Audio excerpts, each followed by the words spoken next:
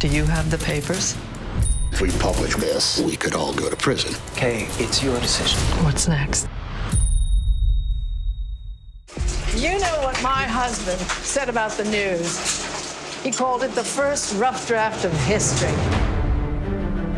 This movie was the first time I got a chance to direct Meryl Streep in a full motion picture. I've always admired Steven's films, but I was never asked to dance before, and so I was just thrilled that he was going to direct this.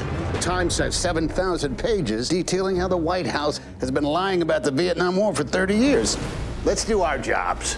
Find those pages.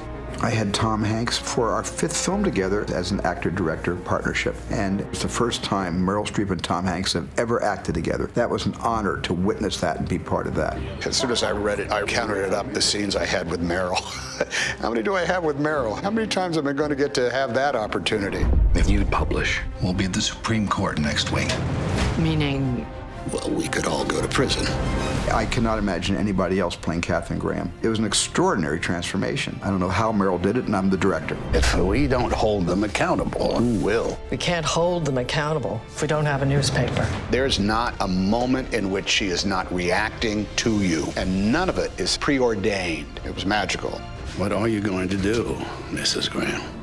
Every time we work together, Tom continues to surprise me, and Tom brought the essence of Ben to life in his portrayal of Ben Bradlee. You're talking about exposing years of government secrets. Is that legal? What is it you think we do here for a living, kid? Yeah, everyone knows he's got the reputation of being the nicest guy, but he's also really smart. And that's a thing that he shared with Ben Bradlee, how just a few steps ahead of everybody he is in the room. If we don't publish, we will lose. The country will lose.